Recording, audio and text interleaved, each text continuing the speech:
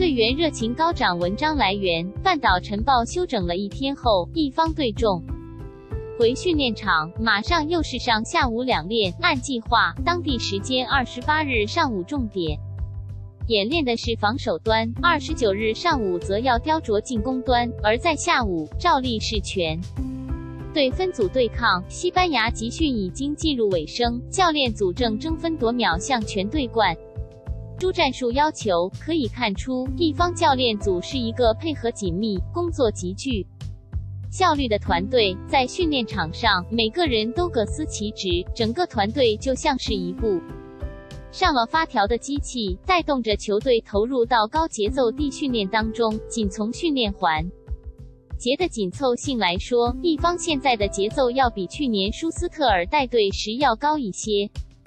当然，新赛季中一方将会呈现出什么样的战术体系，场上表现如何，现在还无法做出预判。一方面，这取决于引援情况，同时要看新的内外援能否迅速融入球队；另一方面，教练组的执教能力只有通。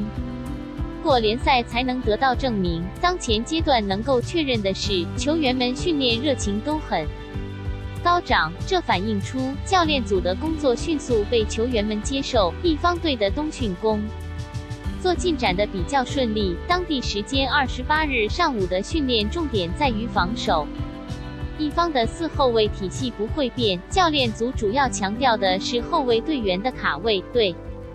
抗与防守步伐，针对如何纠缠住进攻球员的问题，教练们还在场上亲自做起了示范。必须承认，作为才升入中超二年级的球队，一方基础还比较差，冬训期间更需要在细节上多下功夫。目前内外援还在逐一落实中，盖坦受伤后一直在进行恢复性训练，穆谢奎因需要。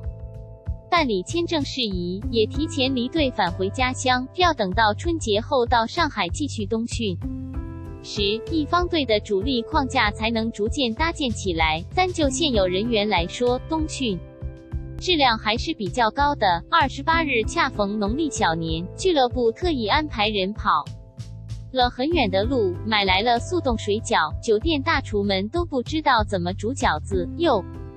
是球队工作人员到厨房自己动手，在餐厅，俱乐部总经理周军向全队简短讲话，表示按照北方习俗，过小年给大家准备了饺子，大家训练都很辛苦，俱乐部非常感谢，希望全队能够团结一心，刻苦训练，为大连争得荣誉。半岛晨报海力网特派记者隋海涛，一月二十九日。